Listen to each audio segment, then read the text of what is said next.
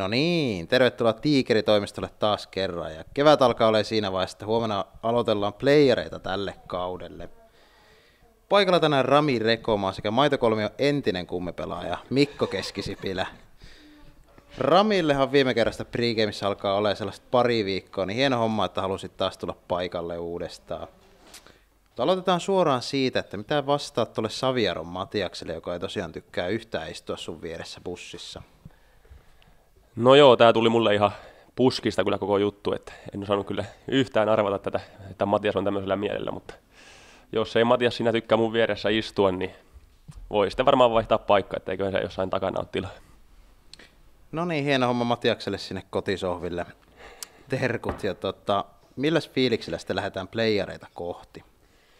No ihan hyvä, hyvällä fiiliksellä, että itse sai tuossa sohvalla olla tuon koko viime viikon, niin nyt on täynnä intoa sitten taas. Eli valmistautuminen on lähtenyt sitten hyvin käyntiin. Tässä on tämmöinen lepotaktiikka otettu käyttöön. No mitäs muistikuvia Hurrikaanista löytyy ja millä lähdetään tätä sarjaa voittamaan? No kyllähän muistikuvia löytyy vaikka ja mitä, mutta taitaa olla aika kova voittoputki siellä kavereilla, että varmaan itse varmuus on, on nyt kohdillaan ja Rane on ollut se ihan hyvässä vireessä, niin sieltä pitää saada sitten vähän tehoja alas. Niin.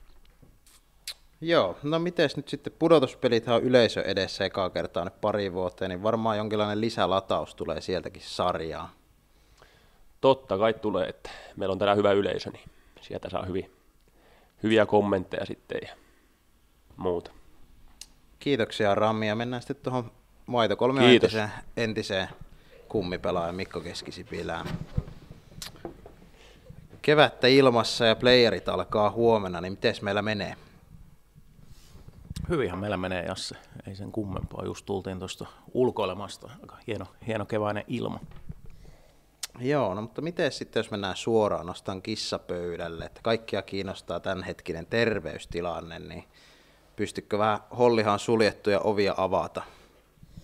Meillä on Hollihassa kyllä aina avoimet ovet, sinne saa tulla ihan vapaasti kuka tahansa katsoa meidän reenejä, mutta tota, terveystilanne on paranemaan päin koko ajan. Kyllä, että ollaan, ollaan saatu sieltä pikkuhiljaa toipilaitakin mukaan, mutta, mutta tota, jos tässä nyt treenaamisen kannalta miettii, niin tuossa just katsoin, että taitaa olla ensimmäinen kolmatta, kun ollaan viimeksi joukkueena pystytty reenaamaan, että on tässä nyt ainakin semmoinen tilanne ennen, ennen tota playoffeja, että ei ole ainakaan niin reenaamisella päästy pilaamaan joukkuetta turhaa tuossa, mutta eipä se nyt sieltä viikossa parissa mihinkään tietenkään katoa se meidän, meidän tatsi. Et kyllä ilman muuta siis siihen näin, mitä nyt tuossa kaksi viimeistä peliä ollaan jouduttu pelaamaan, niin tilanne on paljon paljon parempi, että jos ei mitään, mitään tosiaan erikoisia takapakkeja enää tässä tuu, niin kyllä me saadaan varmasti hyvin lähelle täysmiehistö huomiselle kasaan.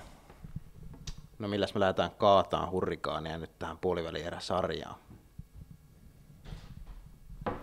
Olisiko se perinteisesti syöttö vastaanotto, mikä, mikä on isossa roolissa. Tasaisia pelejä me ollaan hurrikaaniin vastaan pelattu, pelattu kaikki nuo pelit neljäkin kertaa jo tälle kauelle ja jos siellä katsotaan, että mikä, mikä ehkä on ne osatekijät ollut, mitkä niitä on ratkaissut, niin kyllähän se nimenomaan sillä syöttöruudussa on ollut kuitenkin, että esimerkiksi se viime peli nyt Hollihassa, mikä hävittiin, niin syöttöruudussahan me hävittiin se peli silloin, että Hurrikaani syötti erittäin hyvin, mutta, mutta ei sieltä tulee, tulee tietysti kärsivällinen hyvin puolustava joukkue vastaan, niin meidän pitää siihen vastata samalla tavalla. Joo, mutta nyt on sitten mahtavaa saada yleisöpaikalle. Tosiaan sen parin vuoteen, jolla playereita väännetty yleisö edessä, niin Mitäs terveisiä sulla olisi heittää yleisölle? Tietysti Leppälän takatukka hulmoa siellä ja Joskan viiksetkin ehkä saa pienen maininnan, mutta hyvin pienen, niin onko sulla jotain siihen heittää vielä lisäksi? No kyllä sä vähän tyhjensit tuossa jo pankkia noiden niin tuota, tärkeimpien osalta kieltämättä, mutta kyllä mä ainakin sen haluan yleisölle sanoa, että tosiaan, niin kyllä, kyllä me saadaan iskukykyinen joukkue sinne, että kannattaa ilman muuta tulla katsomaan sen puolesta, että ei tarvitse sitä pelätä, että me P-junnuilla jouduttaisiin pelaamaan tai muuta vastaavaa, että tilanne on ihan hyvä sen suhteen, varmasti saa ihan kovat, kovat väännöt tuossa, ja onhan se just niin kuin sanoit, niin siitähän taitaa olla nyt kaksi kautta, kun on pelaa, no toinen pelattiin kyllä, mutta ilman yleisöä, että onko siitä nyt jopa sitten jopa kolmekin vuotta aikaa, kun on viimeksi lentopallo mestaruusliikan pudotuspelejä päässyt yleisö seuraamaan, niin kyllä mä uskon, että nyt on aika, aika tietysti lähteä sieltä ruudun äärestä hollihakaankin, ja me tarvitaan kyllä kaikki tuki sinne, kaikki mahdollinen tuki molempiin peleihin. Kiitoksia pelurit. Kiitos Jassi. Tervetuloa keskiviikkona ja torstaina kello 18.30 Hollihakaan kokemaan aitaa playoff-huumaa.